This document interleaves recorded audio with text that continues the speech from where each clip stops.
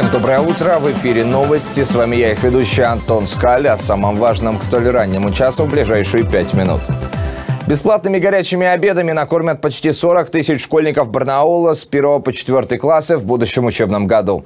Финансирование поступит сразу из трех бюджетов – федерального, краевого и муниципального. По словам мэрии, школы Барнаула полностью готовы обеспечить начальные классы горячим питанием. Всего на организацию бесплатных обедов Алтайский край получит 350 миллионов рублей из федерального бюджета. Сумма предусмотрена до конца этого года. В будущем выделят дополнительные средства. Добавлю, если вас возникли вопросы по организации горячего питания в школах краевой столицы, то можно позвонить по телефонам горячей линии. Номера вы их видите на экранах. Занятия в бассейнах разрешили в Алтайском крае. Изменения в соответствующий указ внес губернатор Виктор Томенко. Теперь разрешены тренировки для спортсменов-сборников. Тем не менее, есть ряд условий. Так, загруженность объекта должна быть не больше 25%. Кроме того, тренировки разрешены при наличии паспорта готовности бассейна с соблюдением рекомендаций Роспотребнадзора и при согласовании с Министерством спорта Алтайского края и Региональной Федерации плавания. Зрители на трибуны не допускаются. В Алтайском крае определились финалисты чемпионата России WorldSkills среди учащихся среди специальных образовательных учреждений. Все подробности в сюжете Константина Ганова. Мы в Барнаульском лицее железнодорожного транспорта. Здесь проходит этап чемпионата России WorldSkills по компетенции управления локомотивом. А теперь вопрос, ответ на который знают даже не все рядовые железнодорожники. Перед нами колесная пара. Оба колеса крутятся с одинаковой скоростью, потому что это колесная пара.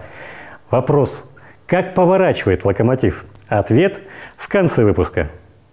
Уже несколько лет в рамках всемирного движения WorldSkills учащие так называемых ПТУ соревнуются за звание лучшего в своей профессии на уровне города, региона, страны. Лучшие молодые плиточники, механики и представители других профессий представляют Россию на чемпионате мира WorldSkills. В прошлом году такой чемпионат проходил в нашей стране, в городе Казань.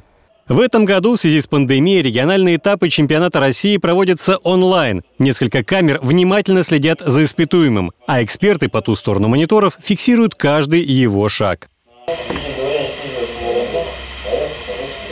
Это Антон Дронов, студент Барнаульского лицея железнодорожного транспорта, победитель прошлого регионального этапа чемпионата WorldSkills компетенции управления локомотивом. В этот раз за выход в финал он борется с ребятами из 22 регионов страны. Ну, наверное, сложнее всего было с волнением справиться. Если бы не было волнения, я думаю, и модули бы были не очень такими сложными для меня. На нашей компетенции целых пять модулей, где Антон должен хорошо знать нормативные документы, правил технической эксплуатации, инструкцию по движению поездов, инструкцию по сигнализации. Это один из сложнейших модулей для испытуемых. Имитация пневматической тормозной системы железнодорожного состава, множество датчиков, предохранителей, трубок и прочих агрегатов, название которых простому человеку ничего не скажет. А этот тренажер, похожий на компьютерную игру, имитирует вагон локомотива. При этом сам тренажер запрограммирован на имитацию любых погодных и технических условий, вплоть до урагана и схода с рельсов.